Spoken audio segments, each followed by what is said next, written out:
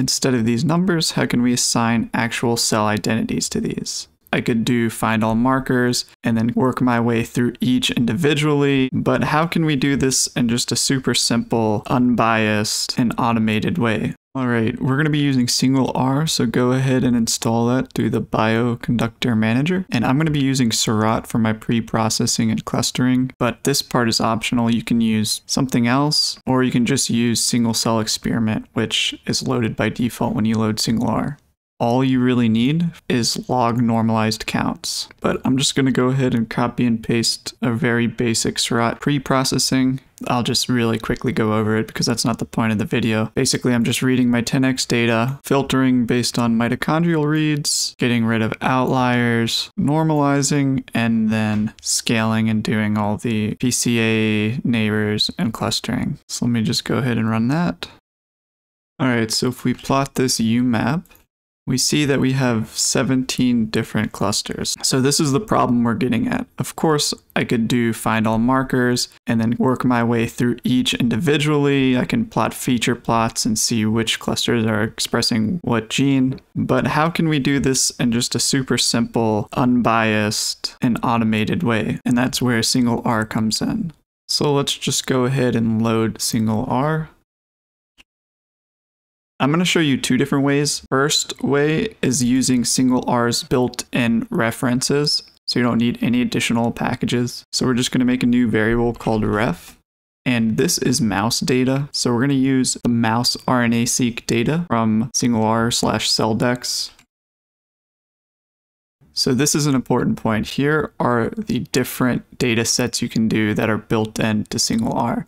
So we're going to be using mouse RNA-seq data, which kind of is a little limited. If you're doing human data, this is actually a lot easier. Usually this human primary cell atlas data set is really good. It has a lot of different cell types, but as you'll see, this mouse RNA-seq data set, it'll do a decent job, but the second method I show you in just a couple minutes will be even better. So we're gonna load this reference. But now we're gonna make a new object called results which is just going to be a data frame of the mapped cell labels. So we're going to call the SingleR function. And then we're going to pass our Seurat object, which was just called data, but we need to pass it as a single cell experiment. And then we're just going to set ref to ref, which is just this object here. And then labels, we're going to set that equal to, let me just show you real quick. If we look at ref, Let's look at the colData. And you see there's a label main and then there's a label fine. For this mouse dataset, I don't know how fine these labels actually are, so we're just going to use label main here. You see that it has different cell types. So we're just going to do ref, and then it's just going to be label main. And then that's pretty much it for this part. And then let's just run this. It'll probably take, I don't know, two, three, four minutes. All right, now if we look at results, we see that we just have this data frame. And all we really want is this labels column. You see that it has the cell label.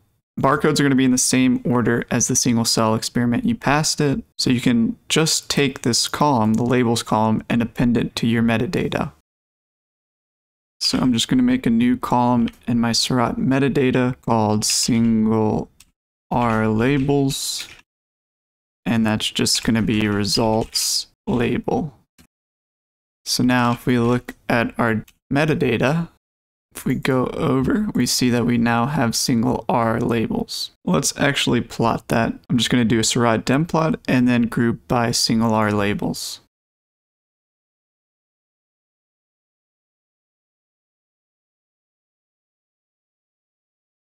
All right, so we see some pretty good consistency here. You see most of these clusters are one color. There's always going to be a few outliers, like I doubt there's any adipocytes in here, and there's definitely no hepatocytes in here, but there's going to be a few of the cells labeled just because inherent single cell noise. Let's just do a couple quick checks. So I'm going to do a feature plot just for CD45, which is an immune marker, and then CD3, which is a T cell marker. All right, so CD3, T cells, that's the cluster that was labeled T cells up here. And then CD45, this is just the gene. And you see all these NK cells, monocytes, T cells, granulocytes, they all were positive for CD45. So we can tell this labeling worked really well. But if you remember, we had more clusters than are shown here. And some of these minor clusters aren't labeled because those cell types were not in this reference data set that we used. So the better way to do this, instead of just using this built-in cell reference, is to actually use a single cell reference. And there's a bunch of available single cell references that you can use. Of course, you can just download something offline, or there's built in bioconductor packages that have nice references already available. I'm going to import a mouse single cell reference and use that instead. So one available resource is this scRNA-seq package. And if you go to their website, you'll see that there's a bunch of different data sets you can choose from in human and in mouse. Instead, I'm going to use the Tabula Muris dataset, which is this huge dataset of a bunch of different tissues from mice. So for this, we need to import experiment hub, and then we can set a new variable, just EH for experiment hub, and we'll just call experiment hub. And then we can query experiment hub for Tabula Muris. And I just really care about the droplet. I don't really care about SmartSeq2. So we can call that like this from our experiment hub object. And then we can just take this number here And you see we have this big single cell experiment with over 70,000 cells. Like I said, this was from, from a bunch of different tissues. So we can subset this based on lung data instead of all 70,000 cells, which we don't need. So let's just make a lung ref and we'll just set it equal to this. And then we'll subset it on lung